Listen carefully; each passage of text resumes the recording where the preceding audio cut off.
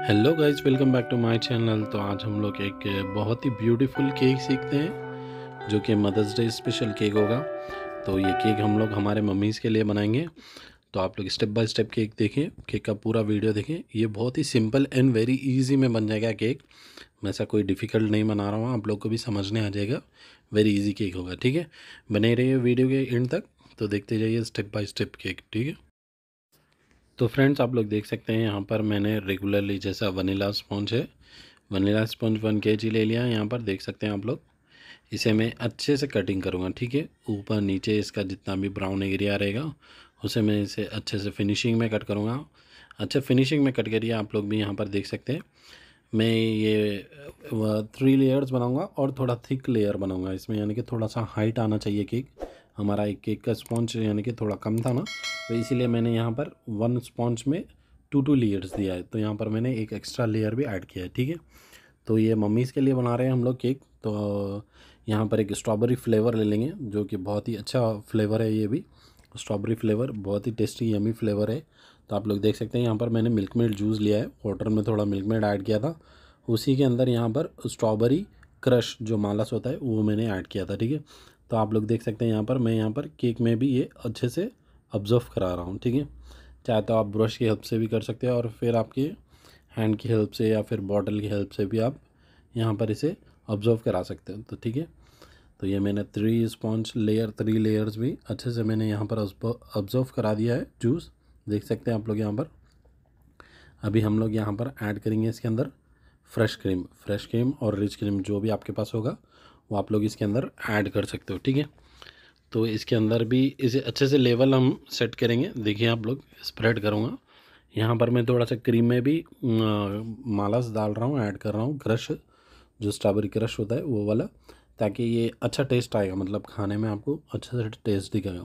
Cake का look भी रहेगा और केक का टेस्ट भी आएगा, ठीक है? इसमें मिल्क मेड जूस में और ये क्रीम में क्रशेस आप ऐड करने से एकदम यमी वाला टेस्ट आ जाएगा आपका, ठीक है? और यहाँ पर देख सकते हैं आप लोग, मैं इसे टेबल पे या फिर कोई बॉल पे नहीं मिक्स कर रहा हूँ। डायरेक्टली स्पॉन्ज लेयरिंग में मिक्स कर रहा हूँ। आप लोग देख सकते हैं, थोड़ा सा माला सा ऐड करके मैंने क्रीम को अच्छे से मिक्स किया है। आप लोग देख रहे हैं ना यहाँ पर, कहीं भी क्रीम यहाँ पर वाइट नहीं दिख रहा है। क्रीम को मैं यहाँ पर अच्छे से मिक्स किया हूँ, यानी कि मिक्स हो चुका है वो, ठीक है? तो देख सकते हैं यहाँ पर, मैं लेस क्वांटिटी लिया था, ज़्यादा क्वांटिटी नहीं, ताकि केक अच्छे से स्टिक रहेगा, ठीक है? आप लोग देख सकते हैं यहाँ पर कितना फिनिशिंग में मेरा यहाँ पर फिलिंग हो चुका है। देख सकते हैं आप लोग यहाँ पर। और लेयर्स का कटिंग वगैरह बिल्कुल परफेक्शन में किए हैं हम लोग यहाँ पर। देख सकते हैं ना स्लोली मैंने जैसे आपको कटिंग बताया था, वैसे ही। तो ये मेरा केक अच्छे से डी फ्रिज में सेट होने के लिए रख दूँगा मैं, हाथ से प्रेस किया था थोड़ा। तो हम अभी यहाँ पर केक की आइसिंग करेंगे। जैसे कि आप लोग यहाँ पर देख सकते हैं, थोड़ा सा येलो ड्रॉप्स डाला हूँ मैंने यहाँ पर रिच क्रीम में। तो थोड़ा एक वाइट क्रीम नहीं दिखेगा मतलब एक थोड़ा सा लुक आएगा क्रीम में, जो आइसिंग करेंगे ना, थोड़ा लाइट येलो में अच्छा लुक आएगा। तो यहाँ पर इसे अच्छे से मिक्स कर लूँगा, एक प्लास्टिक बॉल में मिक्स कर रहा हूँ मैं, आप लोग देख सकते हैं। रिच क्रीम, ये वाली क्रीम हम लोग केक के ऊपर आइसिंग करेंगे, ठीक है ना? तो आप लोग देखते जाइए स्टेप बाय स्टेप केक का पूरा वीडियो। तो यहाँ पर मेरा केक डी फ्रिज में सेट होके आ चुका है, ठीक है? थोड़े time minute ten to fifteen minute जैसा हर वीडियो में मैं आपको बताता हूँ। आपका केक कभी भी सेट होना चाहिए, कभी भी आइसिंग करने से पहले, ठीक है?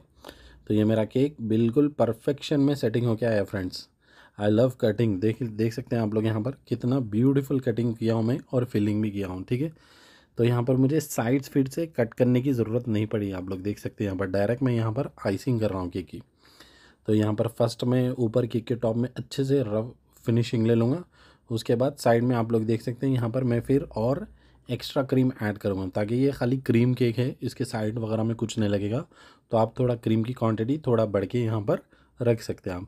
जैसा हमारा नॉर्मल बटरस्कॉच ब्लैक फॉरेस्ट या फिर लीची कुछ भी हम लोग केक बनाए तो साइड में चॉकलेट फ्लेक्स या फिर कुछ लगाते हैं ना तब आप लेस क्रीम यहाँ पर साइड में रखेंगे तो चलेगा। यहाँ पर आप लोग अगर क्रीम केक है कोई डिज़ाइनर केक है तो, तो थो, थोड़ा सा क्रीम यहाँ पर क्वांटिटी बढ़ा के रख सकते हैं आप लोग ठीक है?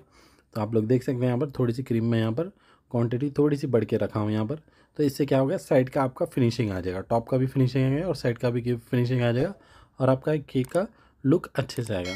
ठीक है फ्रेंड्स सो फ्रेंड्स आप लोग देख सकते हैं, जैसे मैंने आपको बताया था कि केक की फिनिशिंग यहाँ पर अच्छे से लानी होगी थोड़ी सी तो क्रीम क्वान्टिटी मैंने थोड़ी बढ़ के लिए। ठीक है?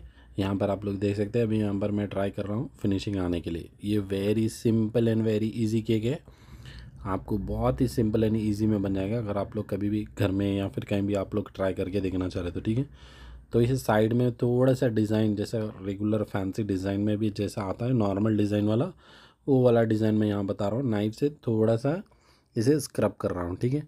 देख सकते हैं आप लोग। ये ऊपर टॉप में फिनिशिंग ले लिया मैं, साइड में थोड़ा सा रब किया था। अभी यहाँ पर हम लोग ऊपर का केक के केक के ऊपर जो फ्लावर वाला बनाएँगे ना हम लोग, डॉटिंग वाला फ्लावर, नाउज़ल की हेल्प से तो उसके लिए मैं यहाँ पर क्रीम मिक्स कर रहा हूँ, आप लोग देख सकते थोड़ा पिंक कलर में, ठीक है? क्रीम में मैं थोड़ा सा पिंक कलर ऐड किया हूँ।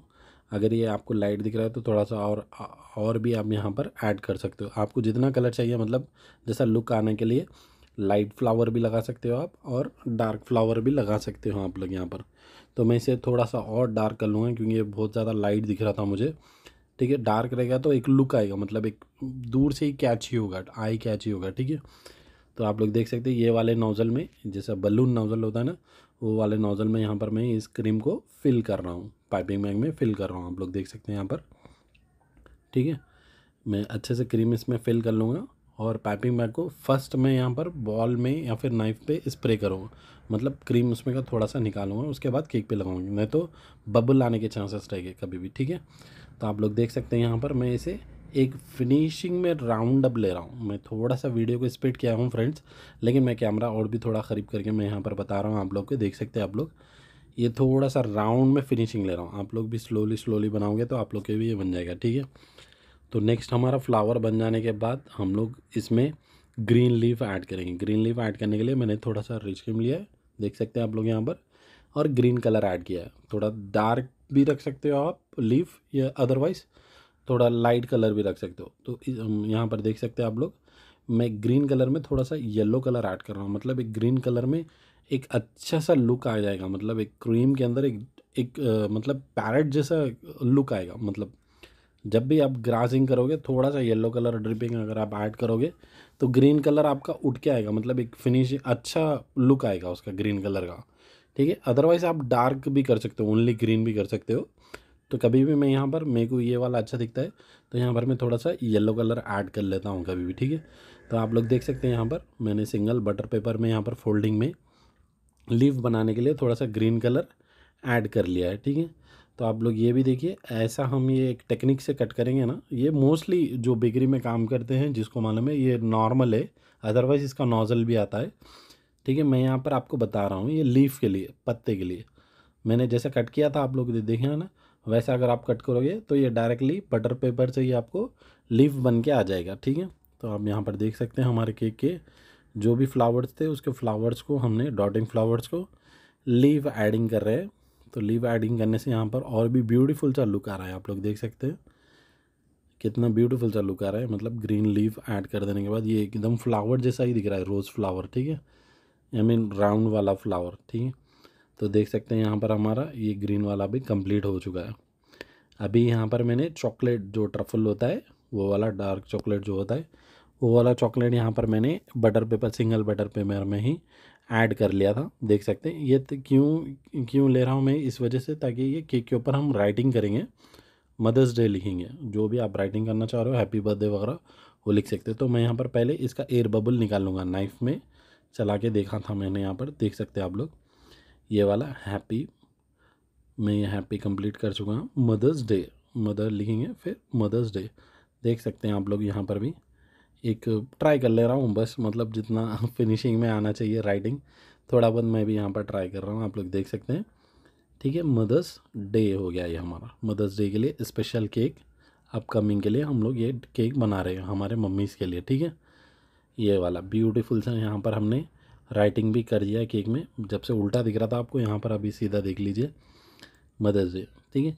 अभी और थोड़ा सा हम यहाँ पर केक को डेकोरेशन करेंगे। थोड़ा सा सिंपल, यूनिक है सिंपल, वेरी सिंपल केक बना रहे हैं ना हम लोग। तो यहाँ पर सिंपल के लिए मैं यहाँ पर वाइट वाला पल्स बॉल जो कि बड़ा साइज़ का है, ठीक है? लार्ज साइज़ का है ये। तो वो वाला साइज़ का मैं यहाँ पर इसका बेस में नीचे में ऐड कर रहा हूँ। देख सकते हैं आप लोग, ताकि केक का लुक थोड़ा सा खाली ना दिखे, ठीक है? ये मैंने पूरा सा ऐड कर दिया है। ऐड करने के बाद थोड़ा सा अच्छे से प्रेस कराऊँ ताकि केक जब भी शेक होगा तो ये गिर ना जाए और फिर बाहर ना निकल जाए। ऊपर में भी जो स्मॉल साइज़ होता है, वो वाला साइज़ का वाइट वाला बॉल्स ही यहाँ पर ऐड कर रहा हूँ मैं। आप लोग देख सकते हैं। तो फ्रेंड्स आप लोग देख सकते हैं यहाँ पर हमारा टोटली केक बन के रेडी हो चुका है। मदर्स डे के लिए स्पेशल केक हमने ये हमारे मम्मीज़ के लिए बनाए। आई होप कि आप लोग वीडियो पसंद आए। पसंद आए तो लाइक कमेंट शेयर ज़रूर कीजिए। मिलते हैं नेक्स्ट वीडियो में। तब तक के लिए बाय बाय टेक केयर